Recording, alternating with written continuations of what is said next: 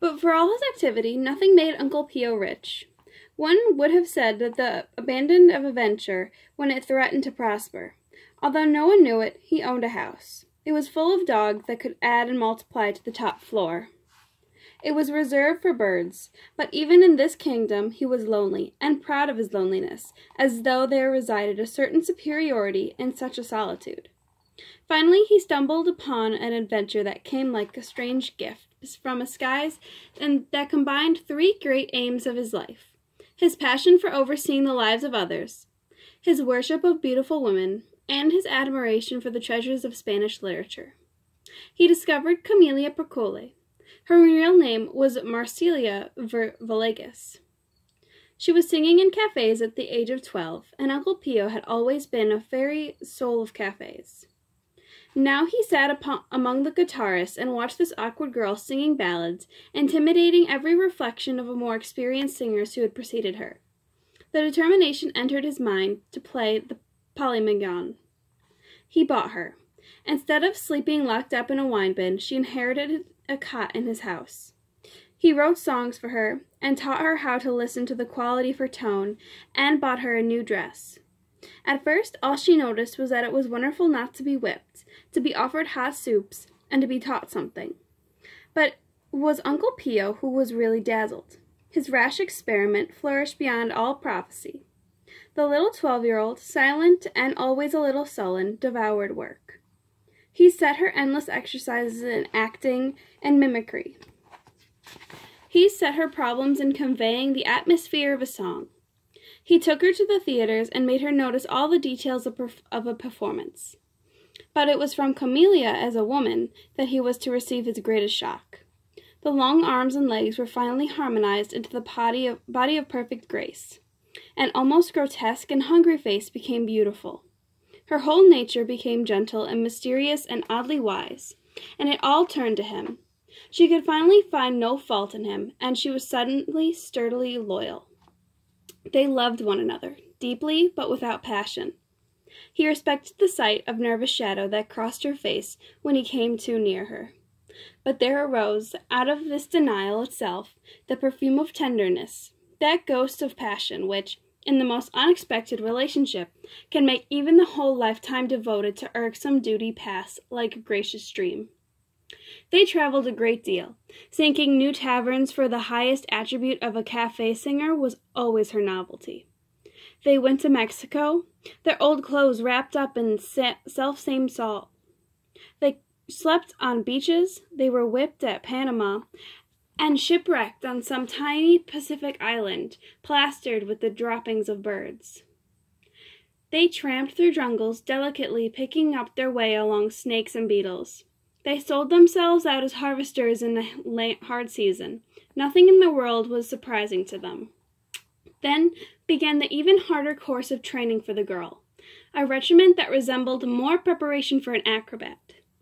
The instruction was little complicated by the fact that her rise of favor was very rapid, and there seemed some danger in the applause she received would make her content with her work too soon. Uncle Pio never exactly beat her, but he resorted to sarcasm, which had its own terrors. At the close of a performance, Camelia would return to her dressing room and find Uncle Pio whistling nonchalantly in one corner.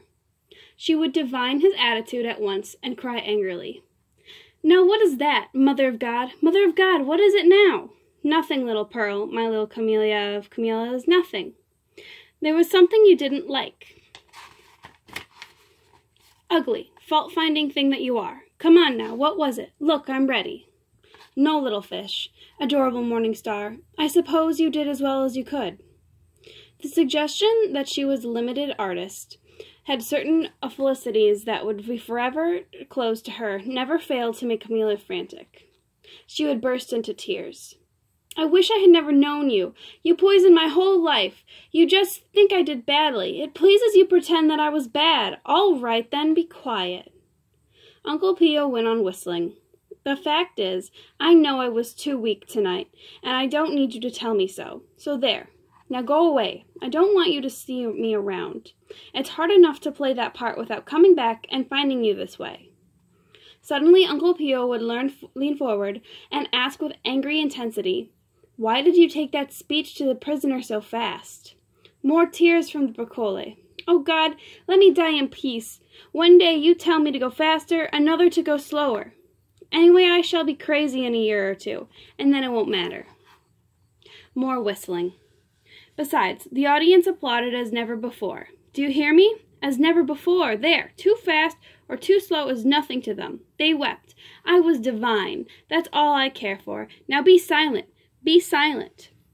He was absolutely silent.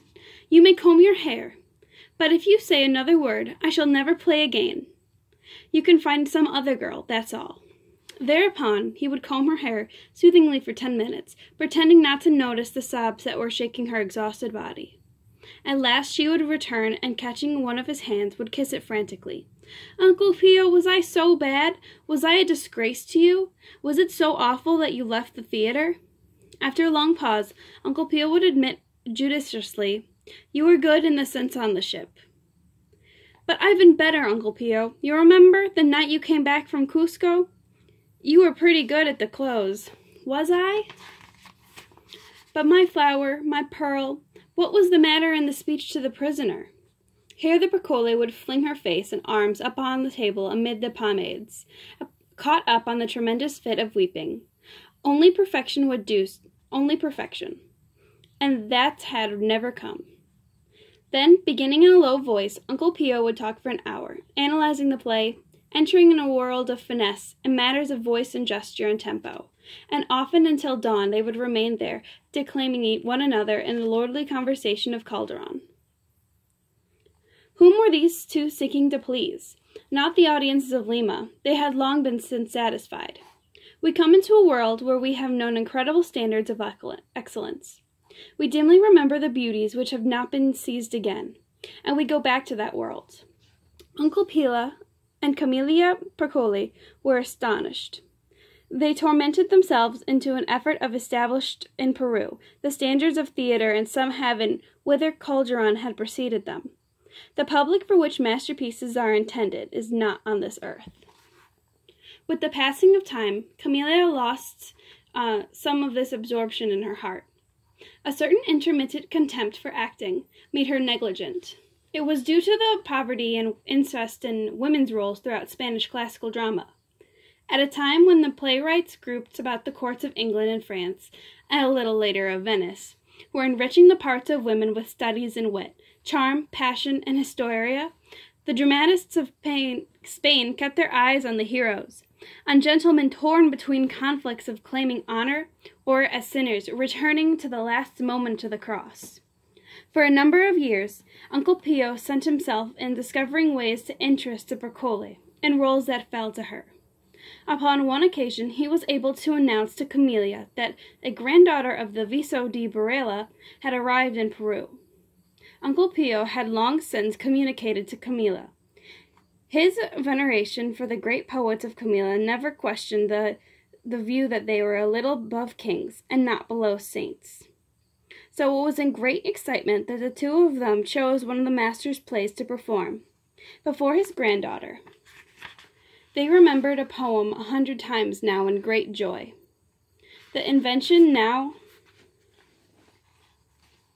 in de- and now in dejection.